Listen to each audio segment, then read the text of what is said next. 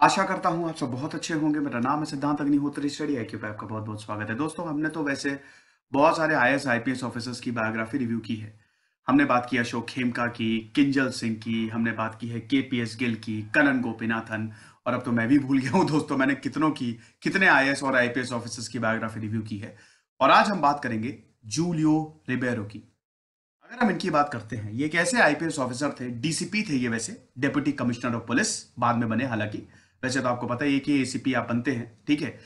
तो अगर हम इनकी बात करें, इनका नाम सुनते ही जो अंडरवर्ल्ड है, जो आतंकी है थर थर कांपने लगते थे। जब पंजाब में खालिस्तानी मूवमेंट पीक पे था 1980s में और पंजाब में कोई भी जाने को तैयार नहीं था तो जूलियो रिबेरो गए थे और सबको ठीक कर दिया था और उसके बाद फिर केपीएस गेल है अब उनकी बायोग्राफी अवेलेबल है। तो आज हम जूलियो रिबेरी की बात करेंगे। हाल ही में काफ़ी न्यूज़ में थे ये, ठीक है?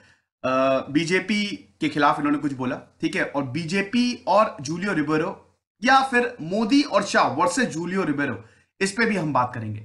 हालाँकि मोदी जी की काफ़ी तारीफ़ भी करते हैं जूलियो रिबेरो लेकिन कुछ चीज़ों से वो असहमत है। ये बोलते हैं कि जिस तरीके से अटल बिहारी वाजपेयी ने सरकार चलाई, अगर वैसे सरकार चले तो ज़्यादा अच्छा है। तो हम सब कुछ देखेंगे जूलियो रिबेरो बहुत सारे आर्टिकल्स लिखते हैं, इन्होंने अपनी ऑटोबायोग्राफी भी लिखी है। ठीक है इंडियन एक्सप्रेस के एडिटर रहे थे ये। इन्होंने अपने करियर की शुरुआत एज अ सब एडिटर की थी इंडियन एक्सप्रेस तो इंडियन एक्सप्रेस पे बहुत सारे आर्टिकल्स हैं दोस्तों। पढ़िए दोस्तों इनको फॉलो करिए। स्पेशली जो लोग आई पीएस आई बनना चाह रहे हैं, इनके आर्टिकल्स काफ़ी ज़्यादा हेल्प करेंगे आपको। तो चलिए दोस्तों, आगे बढ़ते हैं। सिर को रिकनेक्ट मेरा फेसबुक पेज है, सिद्धांत अग्निहोत्री के नाम से मेरी फेसबुक प्रोफ़ाइल है। दोनों ही जगह पर की पीडीएफ ले सकते हैं, सवाल भी पूछ सकते हैं। स्टडी आई के टैबलेट और पेन कोर्सेज हर एग्ज़ाम्स के लिए आते हैं, आप इन नंबर पर कॉल करिए वेबसाइट विज़िट करिए। तो अगर हम जूलियो रिबेरो की बात करें तो इनका जन्म हुआ था पाँच मई उन्नीस में, बॉम्बे में हुआ था, ठीक है? ये बंबई में जन्मे थे। अब इनके पिताजी थे पोस्टल ऑफिसर, ठीक है? एक अच्छे खासे परिवार से आते थे। जूलियो रिबेरो खुद बताते हैं, इनकी जो जो शुरुआती पढ़ाई वो सेंट जेवियर से हुई, ठीक है? और सेंट जेवियर बॉम्बे का जाना माना स्कूल है। हालाँकि इनके फोर फादर्स गोवा के थे। ये खुद बताते हैं कि मेरे great great grand fathers Hindu में, हिंदू से क्रिश्चियनिटी में कन्वर्ट हुए, ठीक है? लेकिन अब मैं अपने कल्चर और रिलीजन को मानता हूँ। और रिलीजन वैसे भी किसी का निजी मामला होता है। ज़्यादा इसमें हस्तक्षेप नहीं करना चाहिए। संप्रदायवाद नहीं फैलाना चाहिए। गलत है। पोलराइजेशन बिल्कुल गलत होता है। ठीक है? तो जूलियो रिवेरो सेंट जेवियर्स में पढ़ते थे और इनके पास कार हुआ करती थी और उस समय बहुत कम लोगों के पास कार थी। ठीक है? लेकिन जब इनके पिताजी का देहांत हुआ तो परिवार पे मुसीबतें आई। इनके पिताजी क्योंकि पोस्टल ऑफिसर थे तो बहुत सारे शहर घूमे लेकिन इनकी जो, इनका जन्म बॉम्बे में हुआ और इनकी जो पूरी पढ़ाई है मतलब पूरा जीवन इनका बॉम्बे में ही गया। हालाँकि ये पूरे, पूरा देश में घूमे, ऐसी बात नहीं है। ये पंजाब में भी गए, फिर ये रोमानिया में भी गए, पूरी दुनिया देश घूमे हैं। लेकिन बॉम्बे इनके दिल के हमेशा करीब रहा। और इसीलिए इनको बॉम्बे मिला भी, जब ये आईपीएस इन्होंने ज्वाइन किया था। ठीक है ना? तो ये चीज़ है। वैसे आपको बता दो कि इनको पद्म भूषण भी मिल चुका है उन्नीस में 1987 में। ठीक है ना? जो कि थर्ड हाईएस्ट सिविलियन अवार्ड है। पहला भारत रत्न, दूसरा पद्म विभूषण तीसरा पद्म भूषण चौथा पद्मश्री। ठीक है ना? तो पद्म भूषण अवॉर्डी भी हैं। अब हम देखते हैं कि इनके करियर की शुरुआत कैसे हुई। इन्होंने इंडियन पुलिस सर्विस 1953 में ज्वाइन की, ठीक है? पहले तो जब ये कॉलेज से निकले, ठीक है? जब ये कॉलेज से निकले तो ये इन्होंने इंडियन एक्सप्रेस को ज्वाइन किया। ये एज अ सब एडिटर वहाँ पे काम किए। और उसके बाद इन्होंने इंडियन पुलिस सर्विस को ज्वाइन किया, ठीक है? ज़ाहिर सी बात है एग्ज़ाम निकाला। आज़ादी के बाद ही इन्होंने मतलब पाँच साल छह साल बाद ही इन्होंने उन्नीस में आईपीएस ज्वाइन किया। और उसके बाद मुंबई पुलिस के कमिश्नर हुए 1982 से लेकर 1986 तक। अब दोस्तों, मैंने आपको दाऊद इब्राहिम के बारे में बताया था, ठीक है? दाऊद इब्राहिम की जो crimes of Dawood Ibrahim underworld की शुरुआत कैसे हुई? पठान गैंग कैसे उठा? वरद राजन से शुरुआत हुई, ठीक है? देखिए, मुंबई में क्या था? साउथ इंडियंस का राज था। जितनी भी व्हाइट कॉलर जॉब होती थी, वो साउथ इंडियंस को मिलती थी। मराठा साइडलाइन हो गए थे। और ये भी जूलियो रिबेरे बताते हैं। अब बा, बाला साहब ठाकरे की बायोग्राफी मेरे देखिएगा तो उसमें आपको पता चलेगा लाखों लाखों लोग उसे देख चुके हैं कि क्या उस समय कंडीशन थी। तो मराठास हो गए थे साइड लाइन अब उसके बाद आते हैं बाला साहब ठाकरे। वो एकदम मराठी हिंदुत्व कि भैया ये जितने भी गुजराती और साउथ इंडियंस यहाँ पे काम कर रहे हैं सारी बड़ी बड़ी फैक्ट्रीज में ये लोग काम कर रहे हैं और हमारे लोग तो है ही नहीं कहीं मराठी तो दिखते ही नहीं है। तो वहाँ से फिर मराठ मराठी जो एक आंदोलन है वो शुरू हुआ। ठीक है? तो जूलियो रिबेरो ने बहुत ही करीब से देखा, हालाँकि मुंबई को बहुत सेफ़ सिटी बताते हैं। ठीक है? रेप में जो डेथ पेनाल्टी होती है, जूलियो रिबेरो उसके खिलाफ है। वो बोलते हैं कि ये कोई प्रॉब्लम सॉल्व नहीं करेगा। आप वो मुंबई का एग्ज़ाम एग्ज़ाम्पल देते हैं कि मुंबई हमेशा से लड़कियों के लिए सेफ़ रही औरतों के लिए सेफ़ रही है। यहाँ पे 11 बजे 12 बजे भी औरतें निकल सकती है, कोई भी दिक्कत नहीं। ठीक है? तो ये एग्ज़ाम्पल देते हैं कि किस तरीके से हम मुंबई को एक एग्ज़ाम्पल बना सकते हैं। ठीक है? कि अपने शहरों को कैसे? क्योंकि एक तो मुंबई कभी, वो एक ऐसा शहर है, सपनों की नगरी, जो कभी नहीं रुकती है। और यहाँ पे हर कोई कुछ ना कुछ काम करता रहता है, ये भी रिव्यू बताते हैं। ठीक है? तो ये सारी चीज़ें बड़ी करीब से देखी। रिपोर्टर थे तो क्राइम तो इनको पता ही था कितना होता है। देखते थे कि खूब जुआ खेला जा रहा है, ओपन है गैम्बलिंग ओपन बूट लेगिंग हो रही है, कबूतरबाजी हो रही है, किसी को कुछ फ़र्क नहीं पड़ रहा। ठीक है? स्मगलिंग हो रही है यहाँ पे। सोने की स्मगलिंग होती थी दोस्तों। और यहाँ पे जूलियो रिवेरो बताते हैं, जब इन्होंने पुलिस सर्विस ज्वाइन की तो जूलियो रिवेरो बताते हैं कि एक नेक्सस है, ठीक है? पॉलिटिशियंस, अंडरवर्ल्ड और पुलिस का, ये एक पूरा नेक्सस है। दाऊद इब्राहिम को तीन चार बार पकड़ने की कोशिश की गई, ऐसे कई ऑपरेशन हुए, पुलिस की वजह से ये नहीं हो पाया। जी हाँ अंडरवर्ल्ड और पुलिस की ज़बरदस्त साठ गांठ है और पॉलिटिशियंस की भी। अब तो हालाँकि बहुत कम हो गई है, लेकिन 1980s के समय में जब दाऊद इब्राहिम का उदय हुआ तो बहुत ज़बरदस्त तरीके से साठ गांठ थी। अब दाऊद इब्राहिम के बारे में मैं तो इतना नहीं बताऊँगा अंडरवर्ल्ड की कहानी मैंने पूरी ऑलरेडी दो तीन लेक्चर्स उस पर लिए हैं, आप देख लीजिएगा, वो अवेलेबल है। समझ रहे हैं? तो यहाँ पे जूलियो रिबेरो को ये सारी चीज़ें टैकल करनी थी। तो सबसे पहले तो जब ये आए और मुंबई में एज अ पुलिस कमिश्नर बन के आए तो इन्होंने सबसे पहले तो गैमलिंग पे अटैक किया। ये जो इलीगल चीज़ें होती थी सत्या मूवी देखी है उसमें भी जो कमिश्नर है, ऐसा बोला जाता है कि काफ़ी हद तक जूलियो रिबेरो से सत्या मूवी में जो कमिश्नर का रोल परेश रावल ने प्ले किया है, काफ़ी हद तक वो जूलियो रिबेरो से इंस्पायर्ड है। हालाँकि उसमें उसकी मौत हो जाती है, लेकिन आपको बता दू जूलियो रिबेरो पे भी तीन चार एसासिनेशन अटेम्प्ट हो हुए हैं। दो तो सबसे प्रमुख है इसमें से। तो जब मुंबई के पुलिस कमिश्नर बनते हैं तो सबसे पहले तो क्राइम को उन्होंने टैकल किया अंडरवर्ल्ड को टैकल किया। सिस्टम में बड़ी प्रॉब्लम थी। ठीक है? अब यहाँ पे होता क्या था कि जो बड़े बड़े डॉन्स थे, पैसा पहुँच जाता था पुलिस स्टेशन में। और पॉलिटिशियंस तो वैसे ही ऐसे लोगों का साथ चाहते हैं जिनके पास पैसा हो। ठीक है? पॉलिटिकल फंडिंग बहुत होती थी पहले इस तरीके से। इलीगल पॉलिटिकल फंडिंग बहुत होती थी पहले। ये जो अंडरवर्ल्ड है ना भर भर के फंड करते थे और क्या? फेवर्स लेते थे बाद में कि हम कुछ भी करेंगे, स्मगलिंग होगी यहाँ पे, आप कुछ नहीं बीच में बोलेंगे। और इसमें सबका हिस्सा होता था। पुलिस भी अपना हिस्सा लेती थी। अजीत डोवाल ने पूरा ऑपरेशन किया था। ठीक है ना? दो लोगों को उन्होंने हायर किया था। दो लोगों को उन्होंने हायर किया दाऊद इब्राहिम को मारने के लिए। लेकिन जब यह ऑपरेशन एकदम पीक पे था, लास्ट पे पहुँचने वाला था, तभी पुलिस को पता चल गया और पुलिस ने उस ऑपरेशन को रोक दिया। हालाँकि सब आउट ऑफ़ द बॉक्स था मतलब एक तरीके से कुछ ऑपरेशन ऐसे होते हैं जो आधिकारिक नहीं होते हैं, जो ऑफिशियल नहीं होते कुछ अनऑफिशियल ऑपरेशन ऑपरेशन होते हैं, उसके दस्तावेज़ नहीं उपलब्ध होते हैं। तो पुलिस ने पूरा ऑपरेशन तो दाऊद इब्राहिम को कई बार पकड़ने की कोशिश की गई, लेकिन पुलिस ने इसमें काफ़ी बार टांग अड़ाई है। तो ये बताते हैं कि ये सिस्टम में बड़ी प्रॉब्लम है, और इसीलिए जूलियो रिवेरा कहते हैं कि पुलिस रिफॉर्म्स तो आना ही चाहिए। मैं यहाँ पे इनकी लाइफ और इनके आर्टिकल्स को मिक्स करके चल रहा हूँ दोस्तों, ठीक है? तो ये थोड़ा सा ध्यान रखिएगा। जूलियो रिबेरो बोलते हैं कि पुलिस रिफॉर्म्स की भारत में सख्त ज़रूरत है। अभी पुलिस स्वतंत्र थोड़ी ना है, वो स्टेट सब्जेक्ट है। सरकार कंट्रोल करती है, हम कॉलोनियल सिस्टम को फॉलो करते आ रहे हैं। तो प्रॉब्लम यह है कि अगर इंस्पेक्टर तक को भी हटाना है इंस्पेक्टर अगर एक करप्ट है, एक रिबेरो ऐसा केस बताते हैं, एक इंस्पेक्टर बहुत करप्शन और उसमें काफ़ी ज़्यादा मतलब उसके कॉन्टैक्ट थे, और जब हमने उसको हटाने की मांग की तो सोचिए कमिश्नर के पास भी अथॉरिटी नहीं। उन्होंने बोला कि हमने सरकार से परमिशन मांगी और सरकार का जब जवाब आएगा, तब हम इसको हटाएँगे। तो अभी जो है, पुलिस वो स्टेट कंट्रोल्ड है।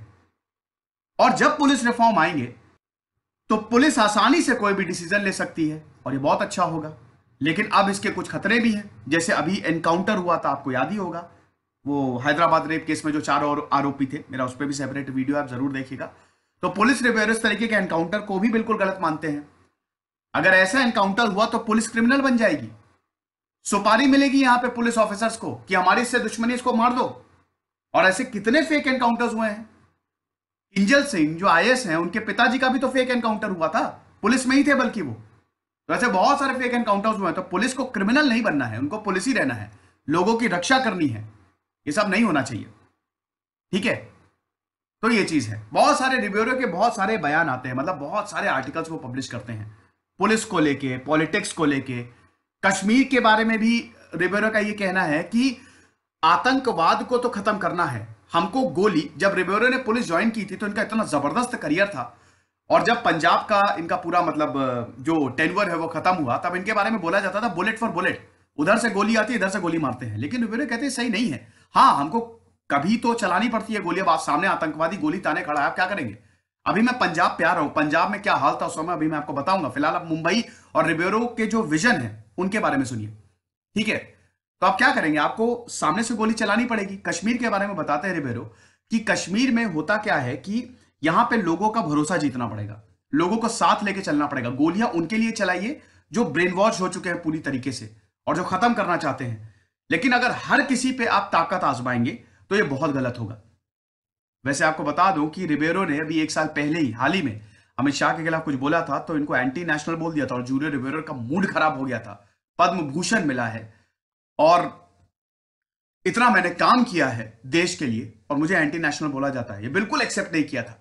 रिबेरो बोलते हैं कि माइनॉरिटीज को सेकंड क्लास सिटीजन इस समय बताया जा रहा है, बनाया जा रहा है। बीजेपी के बारे में अमित शाह के बारे में मोदी जी के बारे में मोदी जी की वैसे तारीफ़ करते हैं रिबेरो, कि उनके बहुत सारे काम बहुत अच्छे हैं। लेकिन मोदी जी को अगर माइनॉरिटीज पे अटैक हो रहे हैं तो उनको कंडेम करना चाहिए। हमको सेकंड क्लास सिटीजन ना बनाए, क्योंकि जूलियो रिबेरो क्रिश्चियन है तो हमको सेकंड क्लास सिटीजन ना बनाए। आप सबको साथ लेके चलिए। अमित शाह की बहुत बुराई करते हैं। जूलियो रिबेरो बताते हैं कि मैंने वो बीजेपी को देखा है, लक्ष्मीकांत चावला। जब मैं पंजाब में था तो वो बीजेपी की लीडर थी, कमाल की लीडर थी। और भी बहुत सारे, मिस्टर अभिलाषी, वो भी कमाल के लीडर थे। आरएसएस में भी बहुत अच्छे लीडर्स, मेरे बहुत अच्छे रिश्ते रहे हैं। अटल बिहारी वाजपेयी की सरकार कमाल थी, है ना? सबको साथ लेके चलती थी। पोलराइजेशन नहीं था, लेकिन आज पोलराइजेशन हो गया है। ये खुद बोल रहा है, मैं नहीं बोल रहा हूँ, ठीक है? इनके वर्ड्स हैं, ठीक है? तो ये नहीं सही है इसको रोकना पड़ेगा। अब उसके बाद हम देखते हैं कि इन्होंने मुंबई पे तो नकेल कसी। बताते हैं कि पूरी तरीके से क्राइम को मिटाना तो बहुत मुश्किल है। आप नहीं मिटा सकते पूरी तरीके से लेकिन आप आ, उस पर कंट्रोल कर सकते हैं कि क्राइम बिल्कुल कंट्रोल रहे। तो अंडरवर्ल्ड को बहुत जब इनको पुलिस कमिश्नर बनाया गया था तो अंडरवर्ल्ड अपनी पीक पे था। हर जगह उसकी पैठ बैठ गई थी। समझ रहे हैं? फ़िल्म भी प्रोड्यूस करने लगा था अंडरवर्ल्ड। इतनी ज़्यादा लोग डरते थे। लेकिन फिर रिव्यूरो आए और ये सब रिवर्स कर दिया। सबसे पहले जो लूप होल्स थे पुलिस में, उसको इन्होंने सही किया। ये गलत है, ये नहीं होना चाहिए। ठीक है? कोई करप्ट है, उसको हटाओ। तो सबसे पहले तो अंदर का सिस्टम इन्होंने सही किया और उसके बाद सबको जेल में डालना शुरू किया, जितने भी बड़े बड़े अंडरवर्ल्ड के लोग थे। फिर आता है पंजाब। समझ रहे हैं? ये डीजी ऑफ़ पंजाब पुलिस बन के भी गए। और उस समय पंजाब जो था, बहुत ज़्यादा प्रभावित था। बहुत ज़्यादा खालिस्तानी मूवमेंट चल रहा था और बड़ी दिक्कत थी। पंजाब में कोई जाता नहीं था। जूलियो रिवेरो ने बोला कि मेरा ये कर्तव्य है और मुझे जाने की ज़रूरत है और मैं जाऊँगा। इसमें कोई दिक्कत नहीं है। तो जब ये पंजाब गए, हम देखते हैं तो वहाँ पे खालिस्तानी मूवमेंट था और यहाँ जूलियो रिवेरो बताते हैं कि पंजाब में ऐसा था कि सुबह तो आप आतंकियों को अरेस्ट करते थे और शाम को, यानी कि रात में, आतंकी आपको अरेस्ट करते थे। पंजाब में बकायदा सरपंच गाँव के और बहुत सारे लोग मुझसे आके कहते थे कि हम इन आतंकियों के खिलाफ नहीं है, जिन्होंने हथियार उठा लिए हैं। मुंबई और पंजाब को कंपेयर करते हैं कि मुंबई में जो अंडरवर्ल्ड था, कम से कम वो ऑर्गेनाइज्ड तो था। अंडरवर्ल्ड रिस्पेक्ट करता था, कुछ भी हो, लेकिन अंडरवर्ल्ड कम से कम पुलिस की रिस्पेक्ट करता था। रूल्स थे उनके। वो मारते नहीं थे किसी को जान से। उनको पता था, ऐसे काम ही नहीं चलेगा। तो एक बैलेंस था। लेकिन पंजाब में ऐसा कुछ नहीं था। पंजाब में सीधा गोली मिलती थी। ये आतंकी थे और आपको सीधा गोली मारते थे। रात में निकलते नहीं थे। अगर यूनिफॉर्म में देखते थे रात में पंजाब में तो आपको गोली मार दी जाती थी वहीं पे ही, जो मिलिटेंट्स थे। तो हमको प्लेन क्लोथ में जाना पड़ता था और बहुत ज़्यादा खतरा था। लेकिन उसके बावजूद रिबेरो का कमाल का काम, ऑपरेशन ब्लैक थंडर वन पे मेरा पूरा सेपरेट वीडियो आप देखिएगा। Operation black thunder one, black thunder two हुआ। अजीत डोवाल जी उसको पूरा देख रेख उसका कर रहे थे। तो कमाल बहुत ही बढ़िया था। एक तरीके से और वहाँ पे फिर मिलिटेंसी को खत्म करने की कवायद शुरू हुई। और इसी दौरान रिबेरो को गोली भी लगी। जी हाँ एके फोर्टी सेवन फायर की गई। पूरी फैमिली अंदर थी, दो गोली इनके लगी, बच गए। मतलब कुछ हुआ नहीं, लेकिन इनकी जो पत्नी है, वो हॉस्पिटलाइज हो गई। हालाँकि उनको भी कुछ नहीं हुआ। तो हमले भी हुए। दो तीन बार इनके ऊपर एसासिनेशन अटेम्प्ट हो गए हैं। एसासिनेशन अटेम्प्ट हुए हैं। समझ रहे हैं? तो काफ़ी लंबा इनका करियर था और बहुत ही कमाल का करियर रहा है एज अ पुलिस ऑफिसर इसीलिए इनको पद्म भूषण दिया गया। तो ये सब चीज़ें थी। पंजाब की एक और आपको बात बताता हूँ। पंजाब में जब आतंकियों को पकड़ा होता था तो ट्रायल्स होते थे। तो वहाँ के जुडिशरी जो जजेस होते थे, वो बोलते थे, इनको मेरे सामने मत लाना। जूलियो रिबेरो खुद बताते कि, इनको मेरे सामने मत लाना। क्योंकि ये क्या करेंगे? हम सजा देंगे, अगले दिन हम मार दिए जाएँगे। तो हर कोई एक तरीके से इनके साथ हो गया था। क्यों? डर के मारे। इतना ज़्यादा खौफ था 1980s 1990s तो पहले रिबेरो बाकी बाद में केपीएस गिल फिर पूरा कंट्रोल किया। खालिस्तानी मूवमेंट को। और अब पंजाब में बिल्कुल शांति आप देख रहे हैं। पंजाब भारत का हिस्सा है, उस समय भी था, अभी भी है। कोई दिक्कत नहीं है। लेकिन यहाँ पे कंट्रोल जो है, वो पुलिस को दिया गया। अब इसमें ह्यूमन राइट्स वायोलेशन हुए। बिल्कुल हुए। यहाँ पे रिबेरो बिल्कुल इस चीज़ से इनकार नहीं करते हैं कि ह्यूमन राइट्स वायोलेशन हुए हैं पंजाब में। इससे हम बिल्कुल भी इनकार नहीं करते हैं। ठीक है? मैंने केपीएस गिल की जब बायोग्राफी कवर की थी तो उसमें बहुत सारे बेगुनाह भी पकड़े गए थे। ठीक है? ये होता है, देखिए, जहाँ पे भी इंसर्जेंसी रहेगी लोगों ने हथियार, तभी तो बोलते हैं ना कि गांधी जी का रास्ता सबसे बेहतरीन है। जहाँ हथियार उठा लिए, वहाँ पे बहुत सारे बेगुनाह भी पिस जाएँगे उसमें। और अभी जूलियो रिबेरो काफ़ी सोशल वर्क कर रहे हैं। ठीक है, हम देखते हैं कि इनको गुजरात के लिए भी बुलाया गया था। शाह पे बहुत ज़्यादा आरोप लगाते हैं, अमित शाह पे। मतलब अमित शाह जी की बायोग्राफी मैंने रिव्यू की है कि मोदी जी तो ठीक है, लेकिन अमित शाह बहुत ज़्यादा पोलराइज करते हैं। वो उन्होंने बांट दिया है एक तरीके से, और बड़े खतरनाक हैं। अगर उनको किसी का काम पसंद नहीं आता तो खाली उसका ट्रांसफ़र नहीं करते हैं, बल्कि और भी बहुत कुछ एकदम पीछे पड़ जाते हैं हाथ धोके तो आप क्वेश्चन नहीं कर सकते। ठीक है? तो गुजरात के लिए भी बुलाया गया था। ठीक है? जब गोधरा राइट्स हुए थे। और यहाँ पे एग्ज़ाम्पल देते हैं कि देखिए, ये पुलिस रिफॉर्म का एग्ज़ाम्पल है। ठीक है? कंट्रोल रूम में ये एक संदेश आया था कि एक दिन के लिए कोई पुलिस एक्शन नहीं होगा। और उसी एक दिन में आपको पता ही है 2002 में गुजरात में क्या हुआ? दंगे भड़के। मुस्लिम भी मारे गए, हिंदू भी मारे गए। बहुत लोग मारे गए उसमें और बहुत दिक्कतें हुई। तो जूलियो रिबेरो बोलते हैं, अगर ये वहाँ पे पुलिस रिफॉर्म आए होते उस समय तक मतलब अभी तक, और पुलिस के पास अगर ताकत होती तो ये कभी भी सिचुएशन एराइज ही नहीं होती। लेकिन कुछ पॉलिटिशियंस जो है, वो पीछे से बोल रहे थे, नाम नहीं लूँगा मैं, ठीक है, आप आर्टिकल्स इनके देख लीजिएगा। ये सब रिव्यूरो बोल रहे हैं, उनके आर्टिकल से ही, बहुत सारे उनके आर्टिकल मैं फॉलो करता रहता हूँ इनको, ठीक है, इनके इंटरव्यूज़ इनके आर्टिकल्स को तो मैं आपको बता रहा हूँ। तो बताते हैं कि वहाँ पे पॉलिटिशियंस ही बैठ के पीछे से नरेट कर रहे थे कि कोई एक्शन नहीं लेना है। तो ऐसे तो चलता नहीं फिर। समझ रहे? तो पुलिस रिफॉर्म की सख्त ज़रूरत है। सैलरी अच्छा इसमें जूलियो रिबेरो बताते हैं कि पुलिस की सैलरी बहुत कम है, आप सैलरी मत बढ़ाइए। लेकिन उनको बेसिक नीड्स जो है उनकी रिटायरमेंट के बाद उनके बच्चों को अच्छी शिक्षा दीजिए। अगर बच्चे पढ़ रहे हैं तो पूरा उनको मॉनिटरी सपोर्ट मिलना चाहिए अच्छा घर दीजिए रहने को। आप देखिए पुलिस के क्वार्टर्स कितने खराब होते हैं। ठीक है?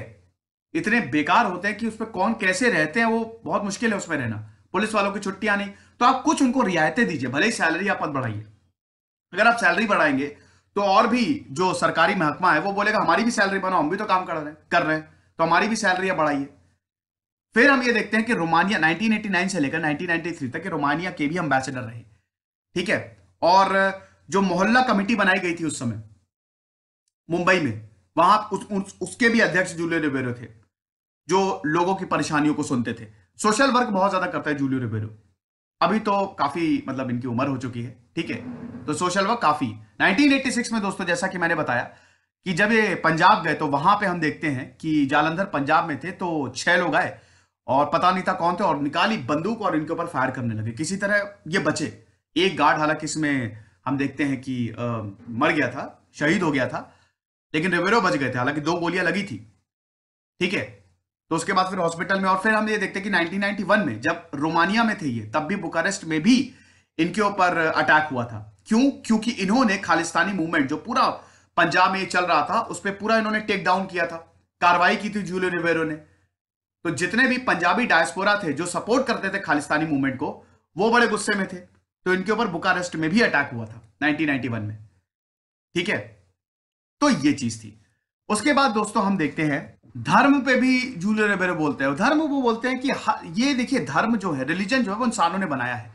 भगवान ने तो कैसे जीवन जीना है वो बताया, लेकिन रिलीजन इंसानों ने बनाया है। और मुझे ये नहीं समझ में आता कि हर इंसान ये कहता है कि मेरा रिलीजन सबसे बड़ा है, या मेरा रिलीजन सबसे ट्रू है, ये बिल्कुल गलत है, ऐसा नहीं है।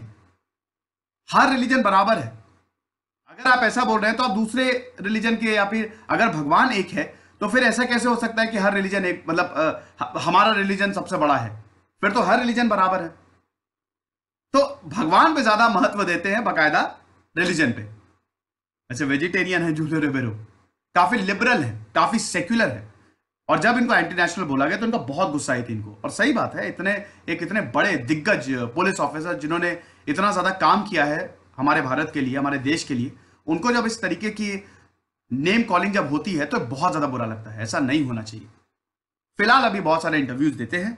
जूलियो रिबेरो बहुत सारे सोशल वर्क भी करते हैं, बहुत सारे इंस्टीट्यूट से भी ये एसोसिएटेड है और कमाल का इनका करियर रहा है। तो ये एक शॉर्ट बायोग्राफी थी। आई होप आपको पसंद आई होगी।